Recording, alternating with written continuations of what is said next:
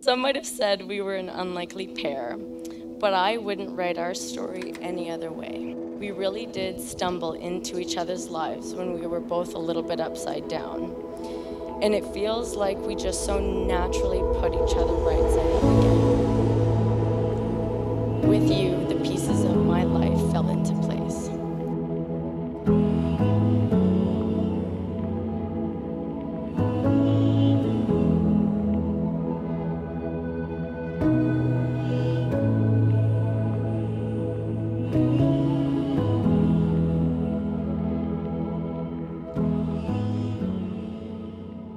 Cassidy and I met at work.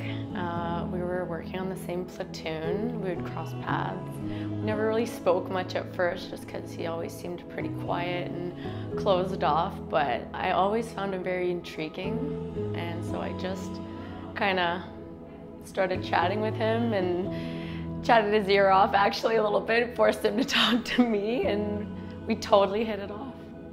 When we decided we were just going to hang out one day, and he knew that I had some sentimental ties to Brockville. Uh, he just started driving and we drove to Brockville completely unprompted. We just went down there and had a day on King Street and I knew right then he was the one. Cass, you changed my life. I was completely upside down before I met you and you absolutely put me right side up again. You are the reason why I am happy and why I am living my fullest life.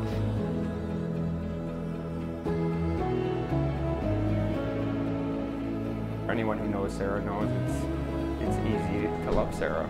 Always been so easy with Sara. She is my best friend.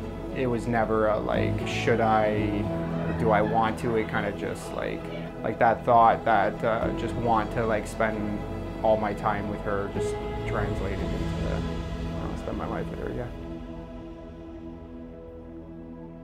Sara is color in a world of gray. Like she's so vibrant and full of life and love. Couldn't imagine my life without her. She's who I want to spend the good times with, the bad times with, the weekends, the weekdays, the work, the play, like all that stuff.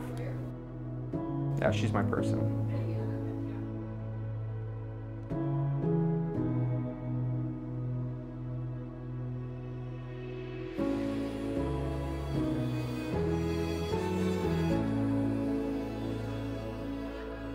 The moment I met you, it's like my soul said, I'm home. Cass, you are the best thing that has ever happened to me, and you will always be the best thing that has ever happened to me. I will choose you because you love me for me. I will choose you for the rest of my days. I love you. Sara, you are the queen of my world the absolute center of my universe. The sun rises with your smile, the stars sparkle in your eyes. You are color in a world of gray. Falling in love with you was as natural as breathing. I am thankful for every twist and turn on the road that has led me here to you. I've liked you from the very first moment I saw you. Through thick and thin, through whatever this life may bring, through highs and lows, ebbs and flows together. I am excited for all of our tomorrows. I love you, baby girl. For as much as Sara Margaret Clark McGregor and Cassidy Cornell LeClaire have made this sacred covenant of marriage before God and each of us here, I, Kimberly Heath, by the virtue of the powers vested in me by the Marriage Act of Ontario, do hereby pronounce you to be married.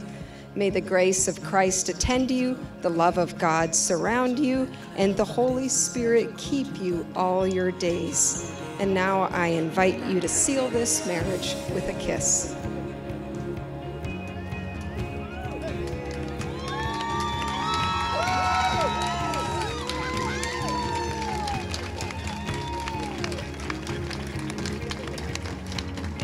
When I asked Cass to describe Sara in two words, he replied, She is hardworking and has a booty that just won't quit. Again, sorry, Ian. if that isn't true love, I don't know what is. I have seen firsthand the good, the bad, and the ugly with these two, and what has never wavered is their love for one another and their drive to be the best versions of themselves for each other. These two are the kinds of people I feel lucky to know, and if you actually get to do life with them, you will never stop being grateful.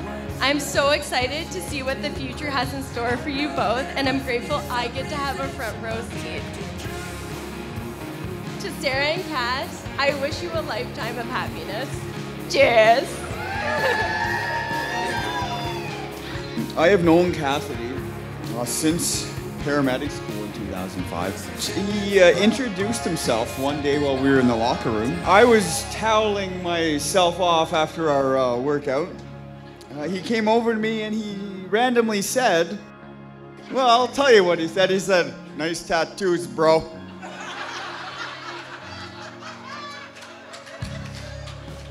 But one of my most fondest memories is of Cassidy's head over heel phase. A lovely little firecracker, Miss Sara McGregor. It was wonderful seeing that progress. I love you too. We love you too. Everyone here loves you too. And cheers to this wonderfully sexy couple.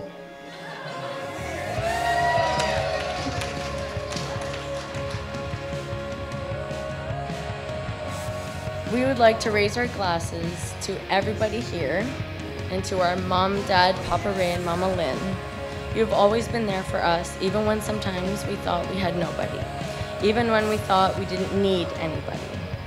We understand your love more and more as days go by. We say I love you all of the time, and when we part ways, when we hang up the phone, and when we sign our cards, we don't say I love you by habit, we say it to remind you that you're the best things in our lives. Cheers.